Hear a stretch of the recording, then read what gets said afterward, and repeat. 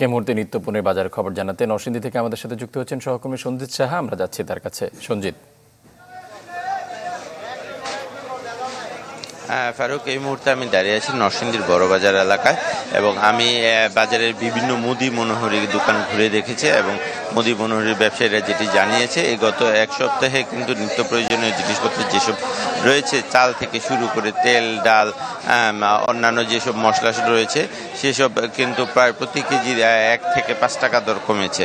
অর্থাৎ যেই সয়াবিন তেলটি একশো পঁচাশি টাকা গত এক সপ্তাহ আগে বিক্রি হতো, সেই সেই সয়াবিন তেল কিন্তু আজকের নরসিংদীর বাজারে বিক্রি হচ্ছে একশো আটাত্তর টাকায়। এবং আপনি চিনি যেটি রয়েছে, চিনির কেজি আপনার কিছুটা বেড়েছে। চিনি একশো দশ টাকায় বিক্রি হচ্ছে। গত পাঁচ থেকে সাত দিন আগে এই চিনিটা বিক্রি হতো একশো আট টাকায়। এছাড়া চালের যে বাজার রয়েছে, চালের বাজারও কিন্তু কিছুটা কমেছে এবং এখানে উন্নত মানের যে চাল রয়েছে, নাজির চাল, সেটা আষট্টি টাকা থেকে পঁচাত্তর টাকা কেজি দরে বিক্রি হচ্ছে। যেই চালগুলি গত এক সপ্তাহ বা পনেরো দিন আগে বিক্রি হতো প্রায় আশি টাকা কেজি দরে। এছাড়া মিনিকেট যে চাল রয়েছে, সেই চালগুলো কিন্তু পঁচাত্তর ছিয়াত্তর টাকা বিক্রি হতো, সেই চালগুলি এখন পঁয়ষট্টি থেকে প্রকার বেঁধে বাহাত্তর, তিয়াত্তর টাকা বিক্রি করেছে। এবং মোটা জাল যেটি রয়েছে, সেটিও কিন্তু কিছুটা কমেছে। এর বাইরে আপনার মাছের বাজার যেটি রয়েছে, সেটিও স্থিতিশীল রয়েছে এবং মুরগির বাজার যেটা, সোনালী মুরগি বিক্রি হচ্ছে তিনশো টাকা এবং ব্রয়লার মুরগি যেটি রয়েছে, সেটির দাম কিন্তু এই আজকের বাজারে দুইশো